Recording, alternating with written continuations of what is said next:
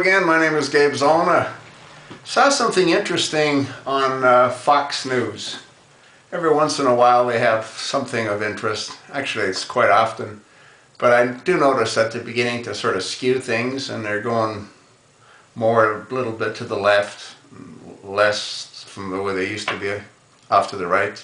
But anyway, that's a different story.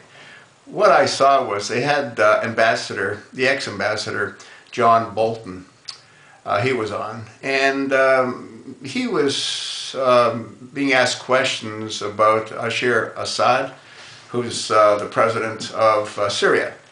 And pretty much what he said is that uh, ideally it'd be uh, good if, if uh, Bashar Assad and his family and a number of other key supporters were able to find a country that they could go to where they wouldn't be persecuted or prosecuted for their many crimes against their own people to the tune of 40,000 that have supposedly been slaughtered over the past two years. Well, I've got a couple of questions of, of either Fox News or of uh, Ambassador Bolton. And I, I guess the biggest question is how do you know that it was Assad and his forces that slaughtered these people?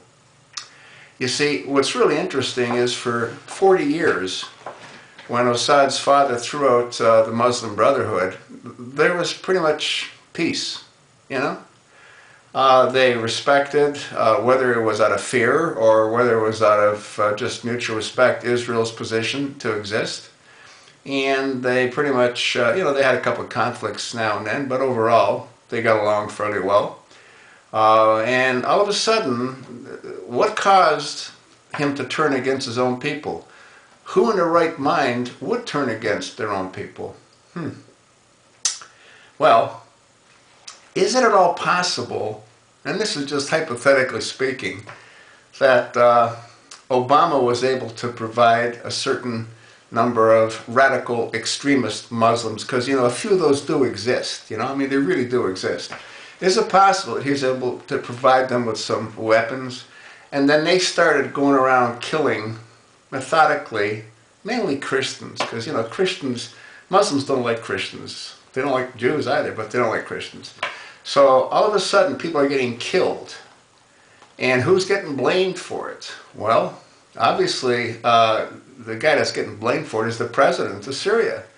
Now, why do you think that would be? Hmm. Well, if you were to ask me, and I'm not, you know, I'm not in tune to what's really going on, but if you were to ask me, I would say that Obama is behind the movement. And it's no different than he was behind the movement in Libya. You know, he wanted to get rid of Gaddafi because Gaddafi also kept out the Brotherhood. And now who's sort of in control of Libya? Well, I think we saw that when uh, Ambassador Chris Stevens got slaughtered with those other three Americans, you know? But anyway, we're not talking about Libya. Let's stay on Syria. See, the key here is to get rid of Assad. Because again, both he and his daddy, they kept the Brotherhood out of the country for over 40 years. And now, all these people are getting slaughtered and he's getting blamed for it. I guess what they want to do is they want to drive him out of Syria. Now, why do you think that would be? Well, let me guess. Well, I know they want him out of Syria so the group that's sort of, you know, making this happen by trying to give them a push, you know, they're, they're killing each other, they can take control of Syria. Now, who do you think that's going to be? Well, I don't know. But I think if you were to take a real wild guess, and if you said the Brotherhood and they were the Muslim Brotherhood, you'd probably be right. So let's see now. They're going to have control real soon of Syria. And oh, by the way, if Assad doesn't move out of there soon, I think Obama's going to help give him a push, just like he did in Libya.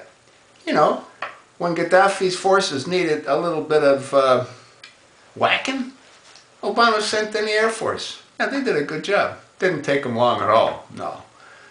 And I can see him doing the same thing in Syria just to get this thing done because it's sort of been dragging for a couple of years, you know?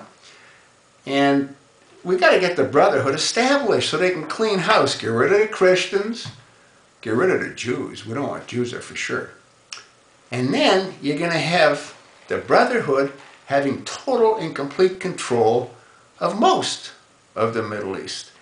And whatever countries like are still not controlled by them, like Jordan, well, it won't be long before Jordan goes the same way. I guarantee you that as soon as Obama's finished shoving high-grade weapons into Syria, they're going to get diverted into Jordan. Because in Jordan, too, they got a lot of bad guys that want to take over control. You can't have most of that part of the world under Sharia law and not a little country like Jordan. That wouldn't be right. So that's going to get knocked off next. Who's behind all this? Hmm. Well, I got to believe that the guy that's behind it is the same guy that did nothing in Egypt. When they got rid of Mubarak, he was only there for 35 years. And Obama got rid of him because, you know, he didn't offer him any support. Didn't say, hey, you know what, we don't want you guys to have an uprising. Go to it. That was his attitude. And who have they got there now? Oh, they got a great guy. Yeah, he was always with the Brotherhood, and now he's president Huh? Mohammed. Mohammed. Yeah. Morsi. And he's a good guy. Okay, he's got a criminal record. We're not all perfect. And yeah, he caused himself some problems because he called himself like the Pharaoh, you know, the, the Messiah, the, the top banana, the kahuna. That caused some problems, but he's working his way through that. He's becoming a little bit more accommodating. Anyway, and look what's going to happen to Israel. Hmm.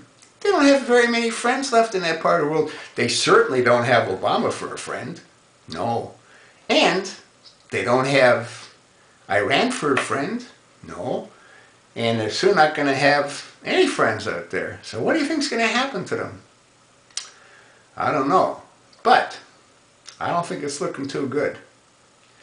And it's really sad. Because you know what the Bible says? They're the chosen ones. Yeah. I'm not saying that. That's what the Bible says. And for them to get destroyed, well, God ain't going to be all that happy. I'm actually surprised that God's allowed this insanity to go as long as it has. But I guess he's just sitting back and seeing if the American people are really that stupid. The Democrats have proven they're that stupid, especially the Jewish ones like Feinstein and Boxer. Huh? They've shown that they're stupid. But there still might be light at the end of the tunnel. Not much, but there might be light. A couple of court cases still coming up. One may be in Alabama and one in California. And who knows what Sheriff Joe and Mike Zullo might come up with with the Cold Case posse. They might come up with something that people are really going to take notice of. I sure hope so.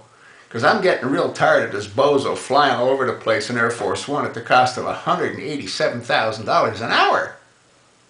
Yeah, that's what it costs just for, and that doesn't include the C-17s with his Cadillacs and his helicopters and the Secret Service vehicles and to fly Bo around. Bo's got to go on his own airplane as well. So, you know, you look at all the savings we could have, right?